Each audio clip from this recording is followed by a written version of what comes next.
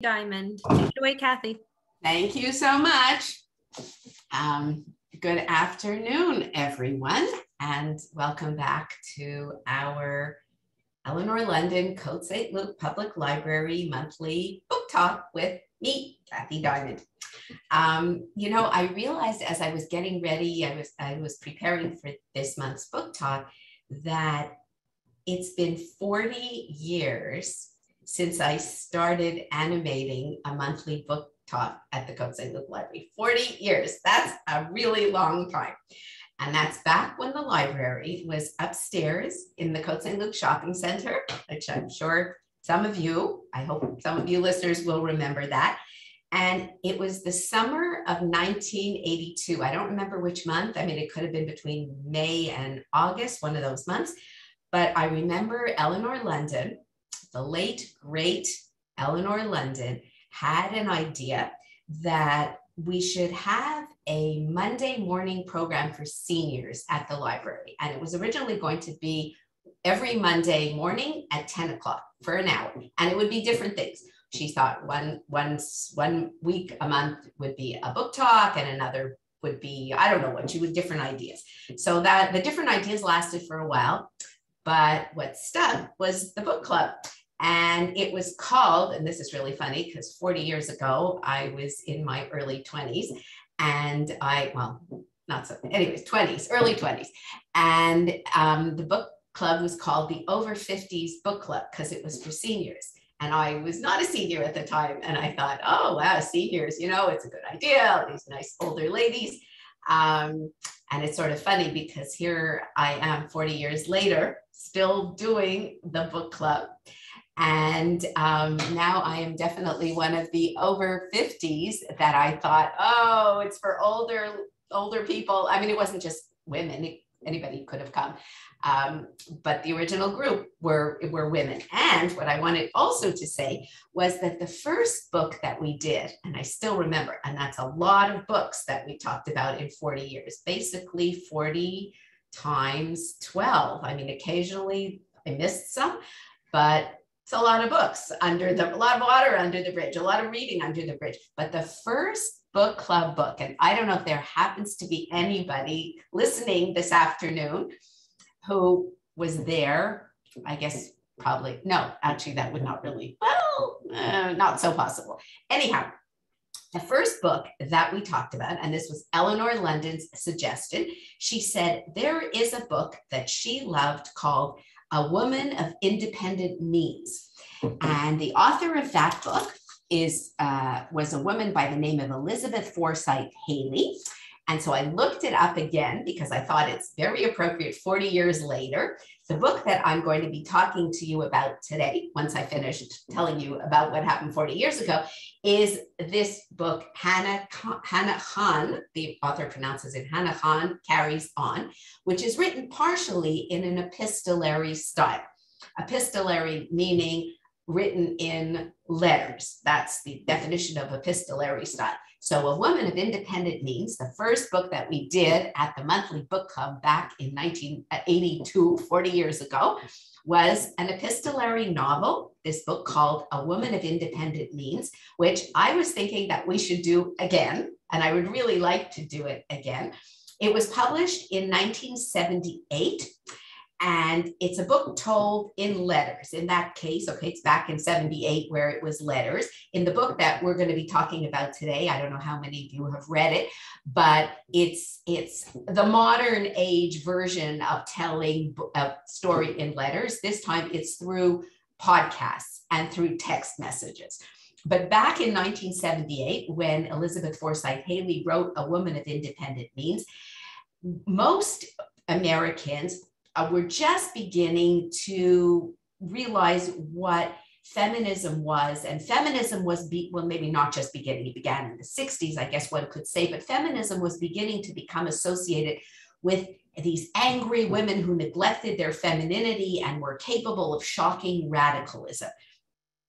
But the book a woman of independent means portrayed a very different ideal for the socially responsible woman of the 20th century. And the character in the book, the first entry in that novel was in 1899, And the last entry was in 1968. So that's the time span that this book, A Woman of Independent Means, looks at. And of course, you can imagine it's the first 60 years, roughly 70 years of the 20th century, where great changes took place. So it was a wonderful book. It was really interesting. It was an interesting story. The main character was a, was a, a wonderful person, this sheltered, privileged woman who was gradually changed due to circumstances, due to life, of course, and she becomes a competent woman and she encounters adversity with, in, with increasing intelligence and, and, and sensitivity and courage. And it, so it was also made, interestingly, and I'll finish with this talking about a woman of independent means, but it was made into a film with Sally Fields.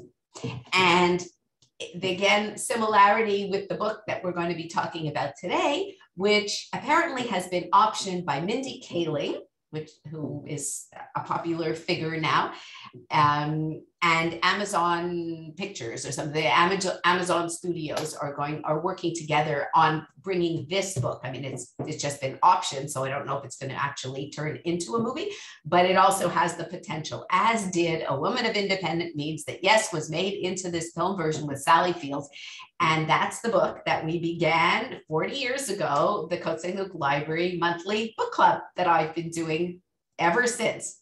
Thank goodness. So um, that said and done, the book that where this book, Hana Khan carries on, is a second novel or a sophomore novel. I learned that's the term for the second novel of an author by a young Toronto writer whose name is Uzma Jalaluddin, Jalaluddin, or how I'm sorry, I'm not pronouncing it properly, but anyways, Uzma Jalaluddin is a Toronto writer, and this is her second book. She is she's a very um, accomplished, and she's a young, well, to me, young woman. She was born in 1980, just two years before we started the Saint-Luc Library Book Club, and she is an English teacher. She well, she's married, the mother of two teenage sons, um, an English and science teacher, high school teacher, where she said she's been teaching for over 20 years. And she writes a column, a very popular column in the Toronto Star, in the newspaper, the Toronto Star as well. I don't know if anybody ever reads it, but she writes a bi weekly column, which um, it seems to be very popular and it's called samosas and maple syrup and it's a parenting advice column more parenting and just you know different different um, musings on life as as a parent and as a citizen of and a, a mother in toronto today she is and she also shares so this is her second book her first novel was published several years ago, Aisha at Last. I don't know if anybody read it. It was a very, it became quickly very pop, very popular. It was listed for the Toronto Book Awards. It was long listed, shortlisted for all these different prizes, including the Stephen Leacock Humor Award. And it, the first, so her first novel, this Aisha at Last, has been compared she, favorably with Jane Austen's Pride and Prejudice. And she, um, in this book, she what she has done. She she said that she very much is influenced and enjoys. Um, she enjoys podcasts and she enjoys epistolary novels, and she also loves 1990s rom coms. So the the second book as Hana Khan carries on, is based on the very popular movie You've Got Mail with Meg Ryan and Tom Hanks. Um, and back in those days, back in the ancient days of the 1990s, people used email. So it's funny because how things have changed. And so she says that she um, that she based this she in an interview with Shelagh Rogers. Shelagh Rogers is an interviewer with the CBC, and she asked Uzma why she wrote this book. And she says, she answers, the author answers, the origin story of this book goes back to 2017, which is five years ago now, which feels like a million years ago right now. The book by the way, the book came out last year. She says, My husband and I were celebrating my birthday. We were at a very upscale halal restaurant that serves American style food burgers, steaks, ribs, things like that. Not traditional Indian or Southeast Asian or even Mediterranean, Middle Eastern food, but American style food. The thing that makes it halal meat is that meat is killed according to, to the rules of Islam, to how, which makes it halal. Similarly, the way you can go to a kosher restaurant and it could be any kind of kosher food as long as the laws of kosher are observed. So she says, I thought that it would be a great way to explore the way that this was inspired by eating dinner with her husband at this halal restaurant that served American and Canadian food. And she said, food, because of course, food, you know, food is a very important part of, well, of life, of course, but also of any immigrant experience and immigrant story.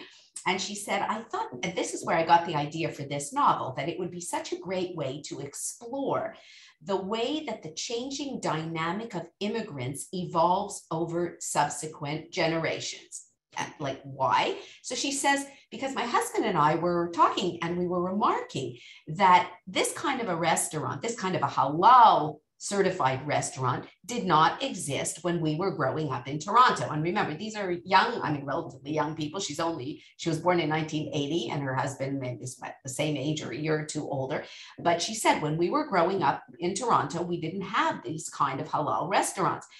And I thought that this would be so, this gave me, this was the germ of the idea for my second novel. She said, and I also just love food. So, both these things combined, I thought it would be really fun to explore. As well, she continued, I love the classic rom coms, the 90s rom coms.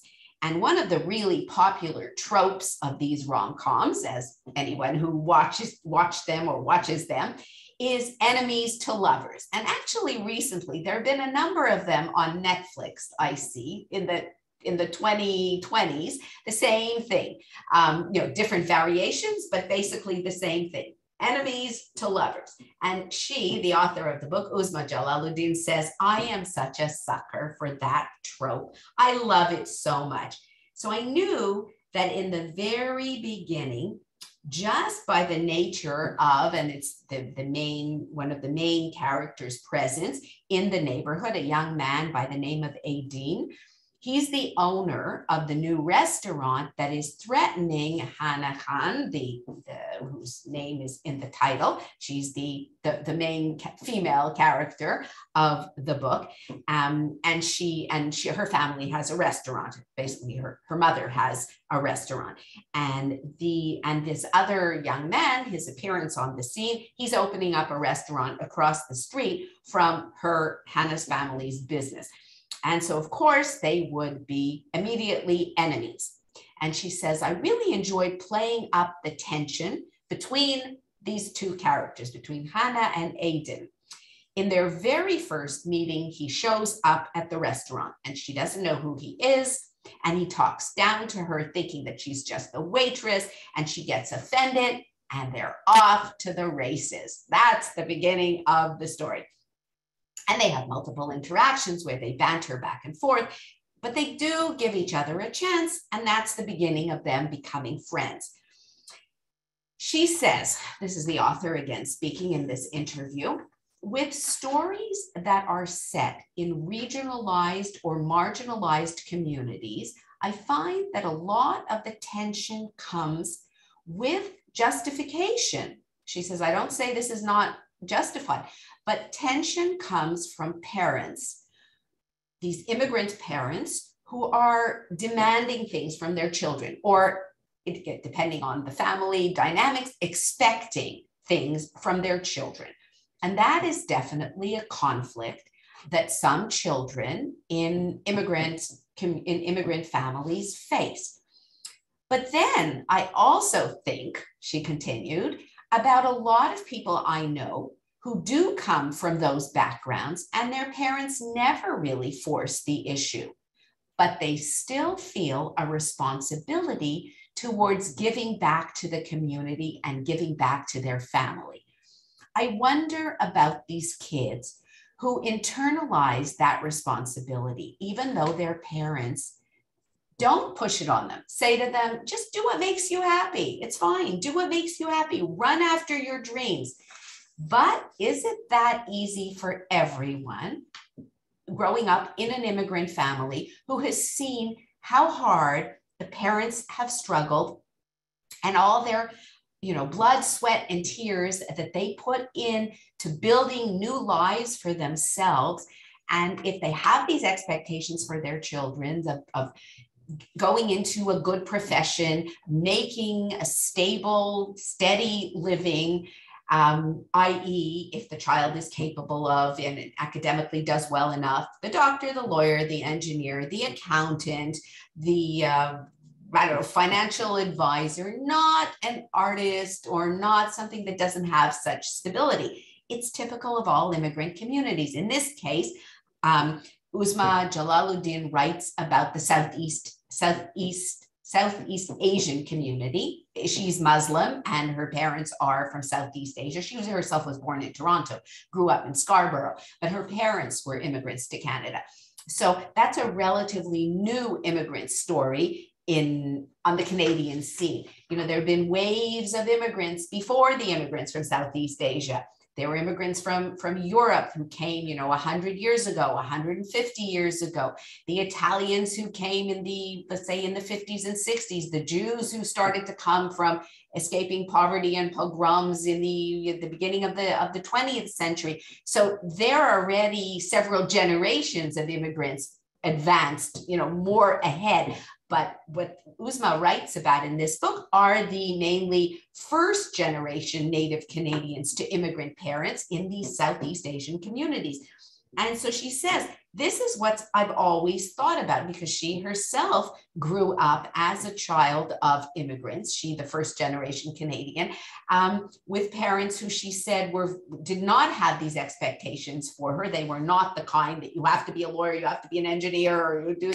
Um, but she still always felt, she said, there's a sense of responsibility to your parents who worked so hard to get to where they are today and a feeling of you have to help them with that.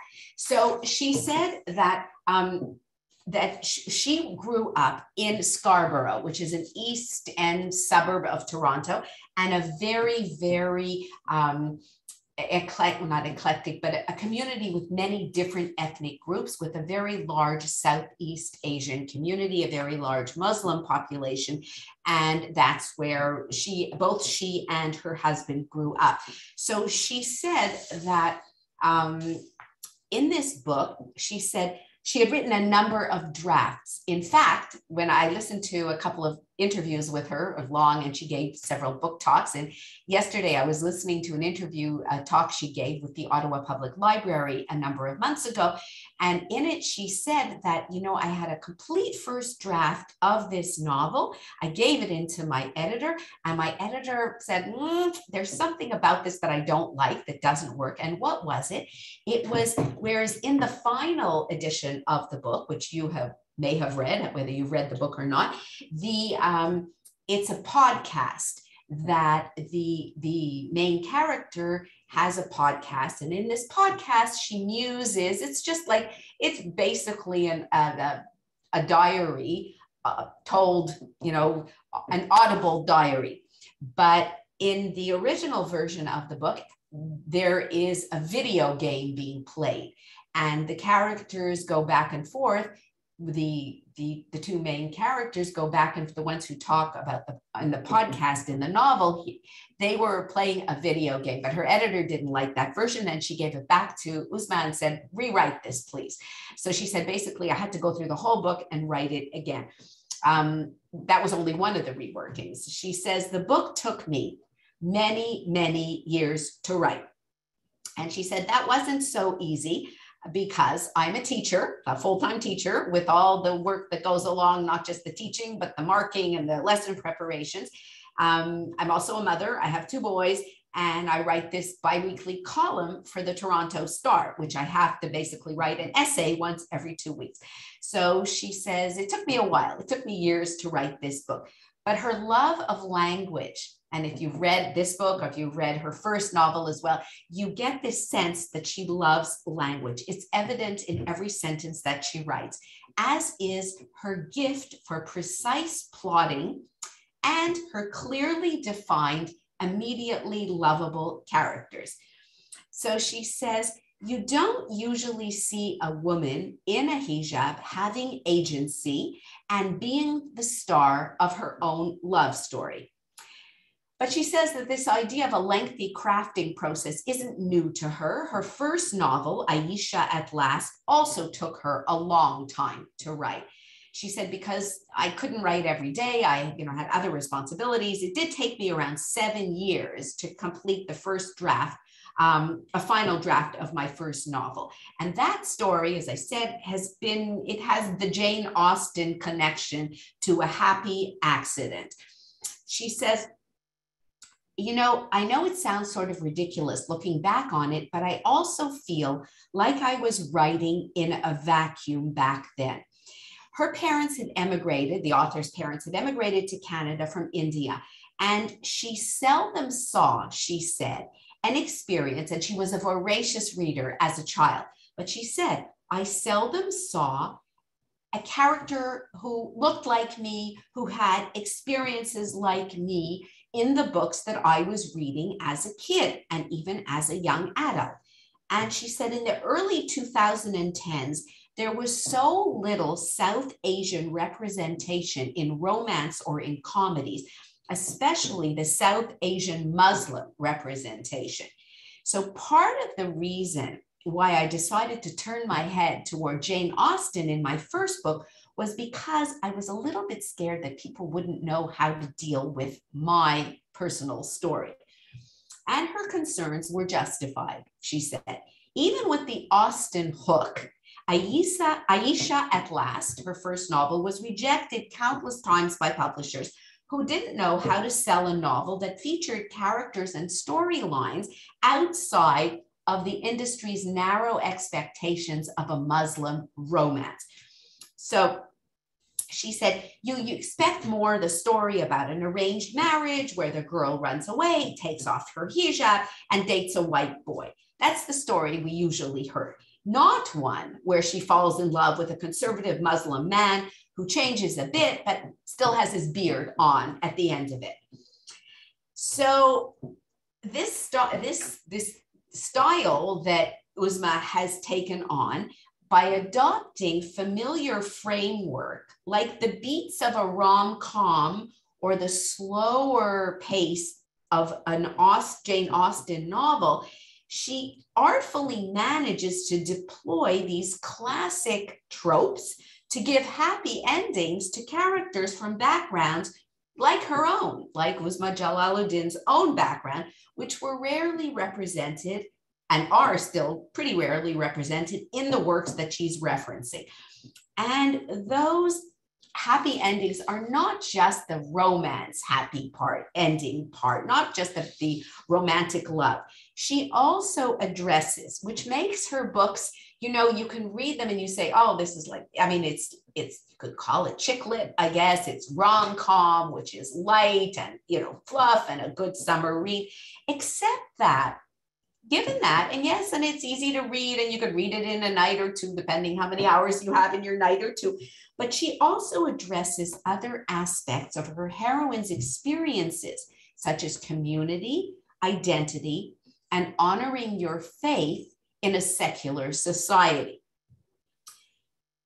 Though both of her novels contain similar pleasures, one could say, the author herself says that there are differences between her debut, Aisha at Last, and this one, Hana Khan Carries On, which was written during a time of political and social upheaval. She said, in the past few years, I was more aware of some storm clouds gathering. And I think that that comes through in my second novel. And she says, and in, and in the book, if you've read it, Hana and her community have to deal with what are called microaggressions as well as hate crimes. So hate crimes are the bigger version of when when things are are crimes when you could when you could you know pursue somebody for committing a hate crime or the microaggressions which are the smaller little um, insults and indignities that someone has to of a minority has to endure in daily life which happens in the book as well. We have both the hate crime and the number of microaggressions that the main character as well as the other as other characters in her novel have to deal with in and the book is set by the way in Toronto in Scarborough as her first novel was.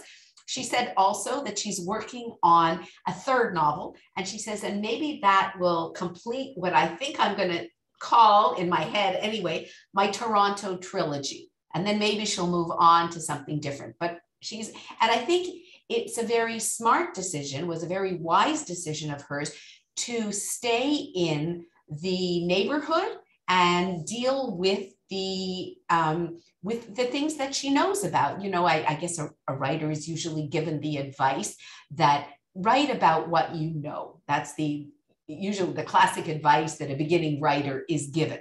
And in this case this was her, you know, first, now it's her second novel, but she seems to have heeded, I don't know if she was given that advice, but she has heeded this, this line, this bit of advice, and it works out very well because she know this is what she knows, this is what she is passionate about writing about, and it comes through as authentic and to me, there's nothing worse than reading a book in which a writer has recreated a world and tried to write about a world in which he or she is, with which he or she, the author, is not familiar.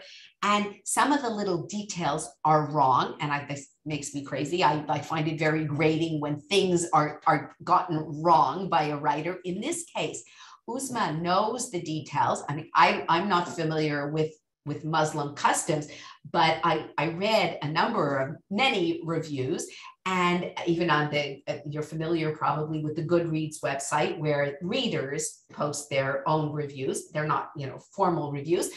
And the the it came out that they said reader after reader that great yay Uzma, you finally got it right. You're describing us. The details are correct. The little, the nuances, the all the aspects of your story are spot on because, of course, Uzma is writing about what she knows.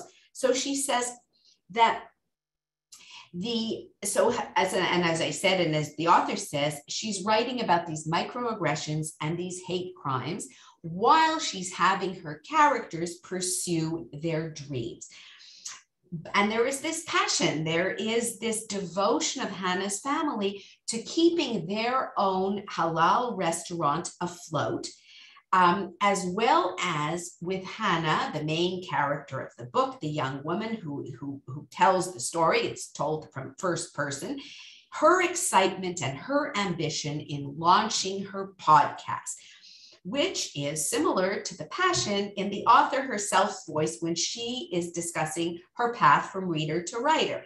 Because as I said, she said, that the author said, when I was young, I wondered, where is the Muslim Bridget Jones? Where is the Muslim Meg Cabot?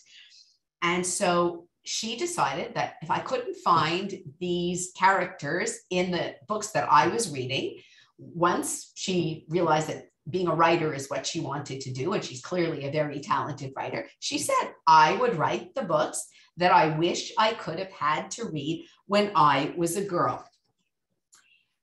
And so here we have this romantic comedy from Uzma Jalaluddin.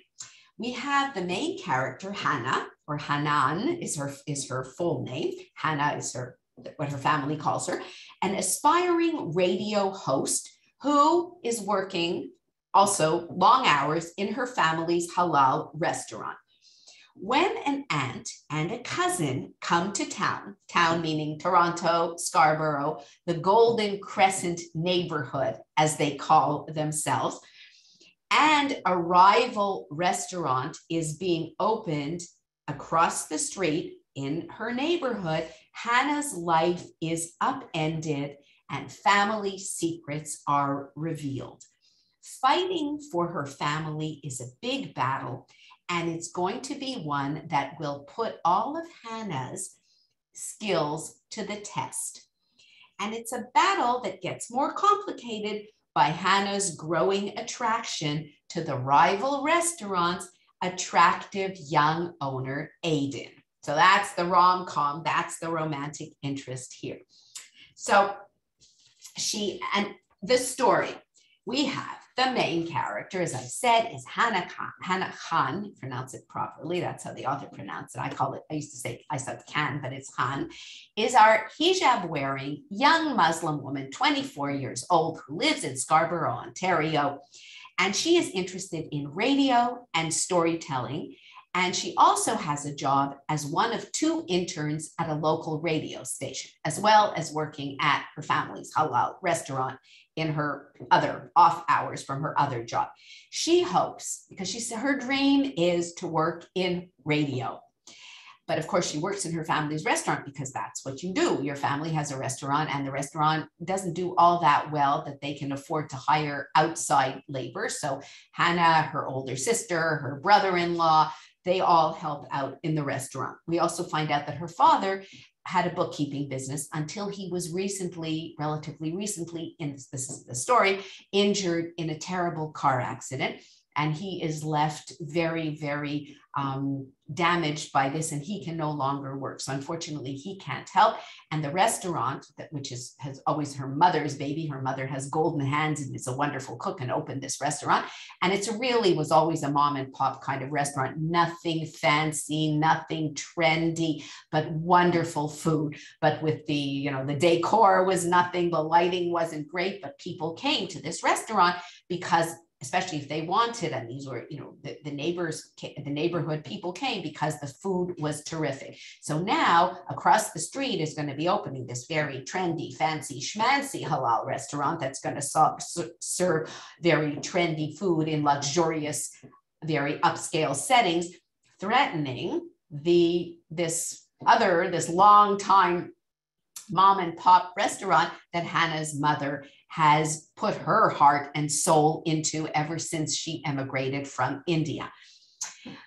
But as Hana, this young Muslim woman who dreams of a career in radio, and why she wants to tell stories. This is her dream, this is her goal, this is her passion in life. Telling stories that value her culture and experience stories that challenge existing stereotypes.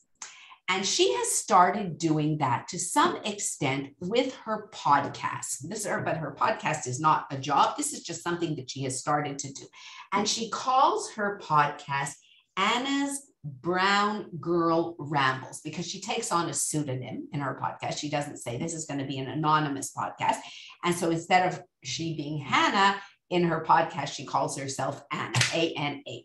So Ana's Brown Girl Rambles. And in this podcast, she explores the big questions of life, but anonymously and free from judgment. And how does the book open? First of all, I just wanted to say that Uzma Jalaluddin has dedicated this book to her parents. Her parents, she says, to, for my parents, Mohammed and Asma Jalaluddin, who taught me the importance of community even as they built one. So you can see what's important for the author. And the opening, so just to give you a little bit from the book, just how the way she writes, the opening page reads Here are the rules. This is a single person podcast, not a variety show, no interviews, not a comedy hour. I'm not going to tell you my name or any specific biographical details, except the following I'm a South Asian Muslim woman in my 20s. I was born and live in the city of Toronto. And I love radio, really love it. I also love the free form of podcasts. This particular podcast will be about having a place to ask questions without worrying who might be listening and judging. I'm talking about the big questions, future friends, such as what do you want out of life? What do we owe the people we love? How do our histories and stories influence who we become? And how do you know that the thing you want is actually the thing you want. There you have it, listeners. My mission statement.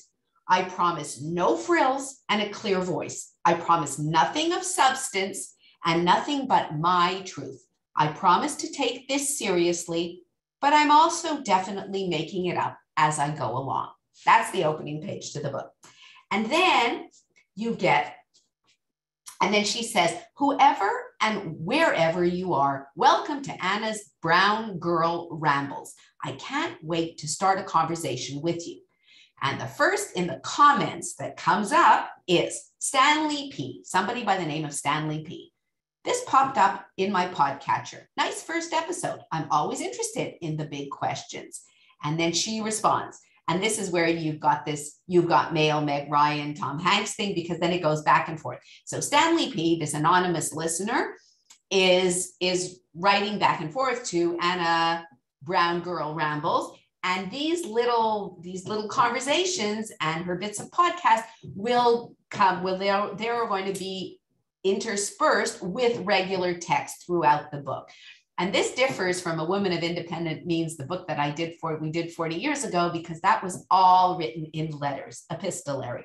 But this one, because in podcast and in little text messages, it's a little different. So the whole book is not written this way, but interspersed with the regular story and the text are these little eh, are the bits of podcast and the dialogue and so you know and and it's very like it does form page long pages in the book, but it's by no means the main part, uh, I mean, the, the only part of the story.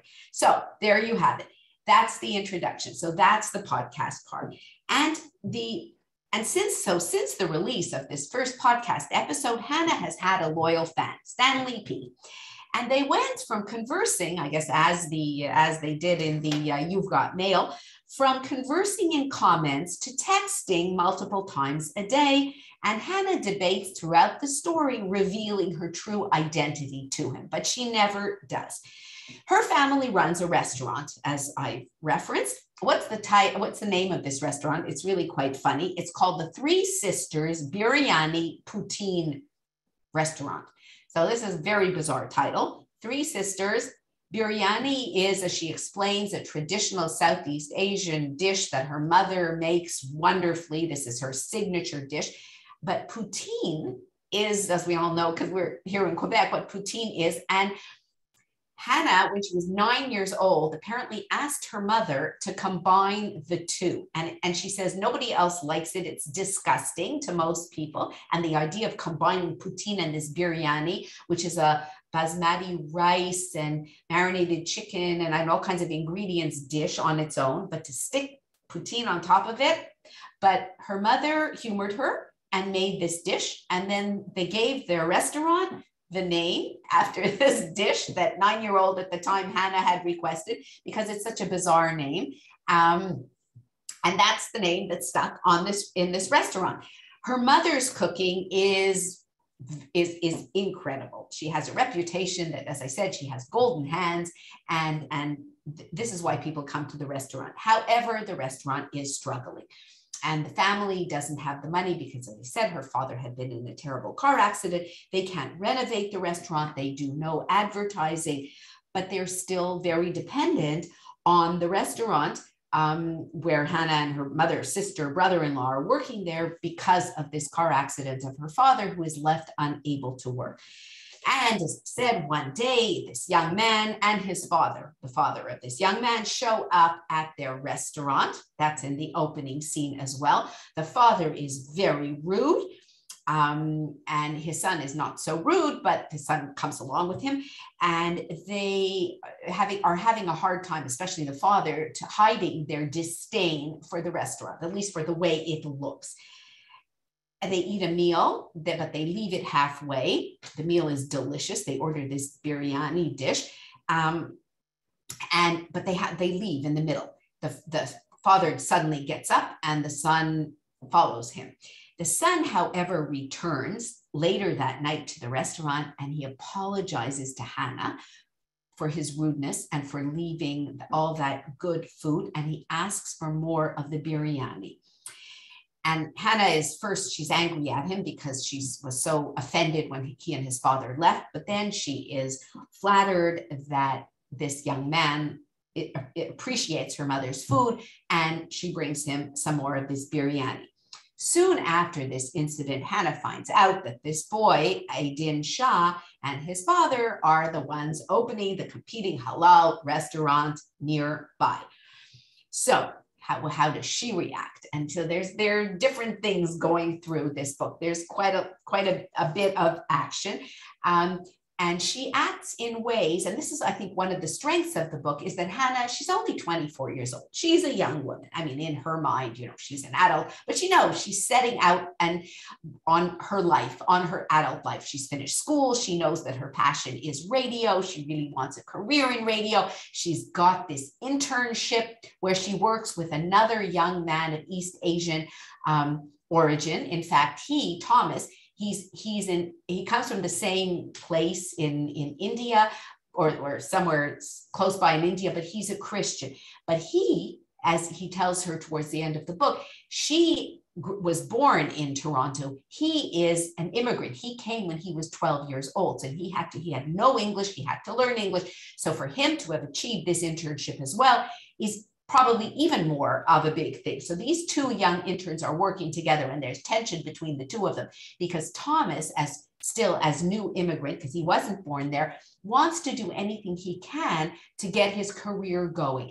And even if their boss at the radio station wants them to do, and she's this well meaning, politically correct, trying to be woke young white woman, their boss, who has ideas for shows but her ideas they grate hana the wrong way because hana doesn't want anything stereotypical. She has her ideas what she wants to produce or what she wants to talk about on a radio show whereas thomas is much more ready to toe whatever the party line is do it exactly whatever his boss asks him because he is still a new immigrant. He's you know a generation behind Hana, and he want he really wants to make it. So the so you have the what's going on at the radio station where Hana has her internship, and you have the problems at the family restaurant where this new competitor is opening up across the street.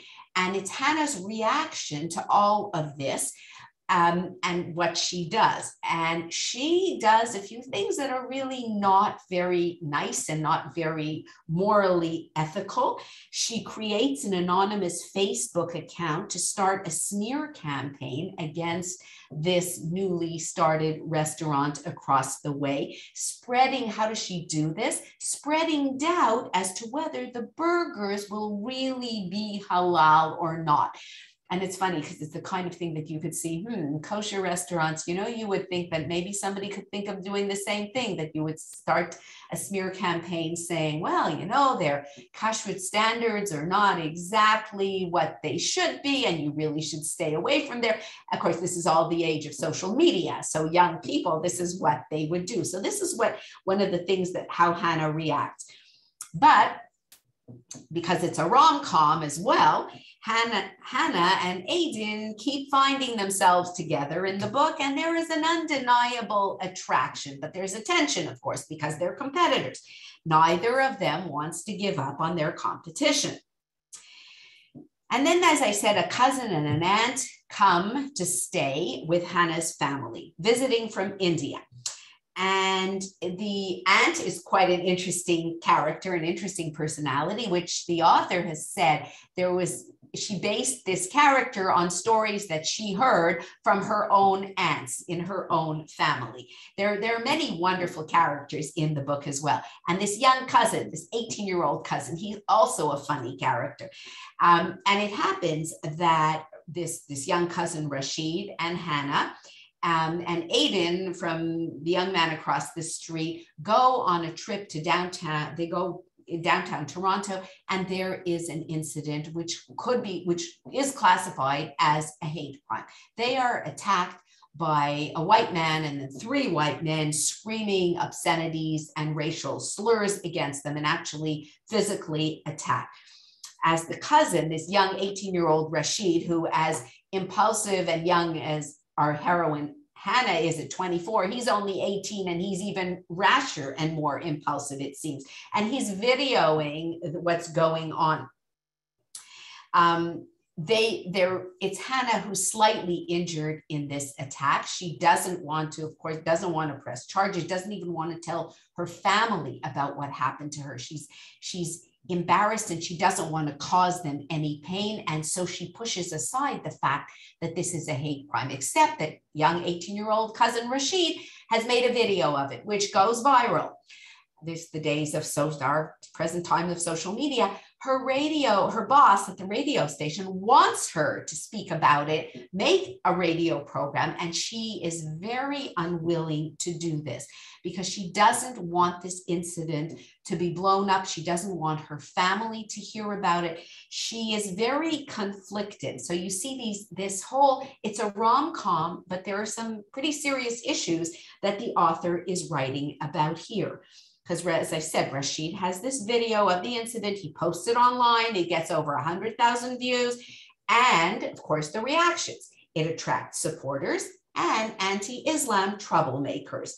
And then the story goes on. There's a planned community festival in the Golden in the Golden Triangle. That it's an annual community festival there in their neighborhood in Scarborough, which which they touted as a halal festival um, the troublemakers made it into a halal festival and you know that something is going to happen there's going to, is there going to be an even more violent outcome than this more minor incident where hana was injured by these this man shouting racial slurs at her um, the story goes on and the festival takes place and, and, and something happens there and Aydin and his father open up this restaurant. I mean, I mean, all kinds of, there's, there's definitely more to the plot, but I'm not going to give it away or tell more for those of you who haven't read it. Um, and meanwhile, Hana's connection and her listener, Stanley P, are going through the story as she is she is still making her podcast. Um, and it's and when the time comes and they're feeling like hana's feeling well hmm, you know this he sounds very nice this stanley p and she's thinking of revealing her identity to him um, and more things happen in the story um, there are some other you know little love stories in the book as well and in the end the and i say i don't want to because I don't know how many people have read the book. So this is always the problem here. I don't want to spoil the story because it's fun. And um, and by the end, Hana shares who she is on her podcast and her new podcast project. And she, and I'll try to read you. Well, no, I just could read you just another couple of paragraphs from the book, just to give you an idea of the way Uzma Jalaluddin writes she says, and this is Hana talking, and she's, she, as I said, it's written in first person narrative, working on a show. She's writing about her passion for radio. Working on a show, any show, was all that I had ever wanted to do. So far, all Thomas, that's her fellow intern, all Thomas and I had done in our internship was file, photocopy, archive, and research other people's stories. The first time I had done a job that excited me had been the day before when Marissa, that's her boss, had let me co produce Big J's show. Hosting a show about culture and religion was not what I wanted to do. The worst part was Thomas knew how I felt. We had talked about it before. Who's going to tell the stories that only we know? We are South Asian. We're second generation immigrants. You're Indian Muslim and I'm Indian Christian, both minorities within minority communities. We have things to say and diverse perspectives that people would love to hear, he had argued. Although here he's telling her that he's second generation immigrant. Um, and it turns out that he's not. I guess he wanted to, I don't know, he pretended that to her. Is that your tagline? I'm brown, I'm interesting, listen to me. The minute this is Ana, this is Hana writing, uh, talking back. The minute I start start writing stories about the Muslim or the Desi, which I gather is Southeast Asian community, I will be put in a box And that will be all I'll ever be known for or all I can ever do. I'm too young and interesting. This is Hana talking to be put in the exotic brown person expert for the next 30 years, I argued back to Thomas. Hana, you could be the person who changes people's minds about Muslims, Thomas would counter. That comment always made me laugh. The bigots are never going to listen to me, and everyone else already likes me because, as an Indian Canadian, I stand for samosas and maple syrup. I'm good. And it's funny because the title, the yeah, the title of Uzma Jalaluddin's column, her biweekly column, as I said in the Toronto Star, is samosas and maple syrup. So she gets, she puts that line in the book. The truth was, Thomas had less to lose. When a man talks about politics and religion next to a brown skinned woman who wears hijab, guess who attracts the misogynist trolls and violent death threats? I come by my cowardice honestly through the experiences of those braver than myself. I had no desire to be a social justice martyr. I wanted to follow my instincts and my own interests, not use my faith and skin color to provide teachable moments to listeners on demand. Thomas knew how I felt, yet he had pitched his stupid idea anyway. He really was the worst. So, this is what she writes about that. And then just one final bit, and then I would come to a close. Maybe there are some questions at the end of the book, because as I said, she opened the book by saying, okay, here are the rules. This is a podcast, single person, not a variety show, no interview, not a comedy hour. I'm not telling you my name or details.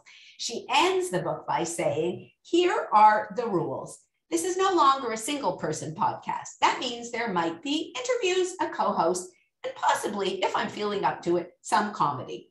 Also, this whole anonymous thing isn't working for me anymore. So, listeners, here we go. My name isn't Ana, it's Hana Khan, and I'm 24 years old and I live in Scarborough, an East End suburb of Toronto. My parents emigrated from India before I was born, and recently we ran a small halal restaurant called Three Sisters Biryani Poutine.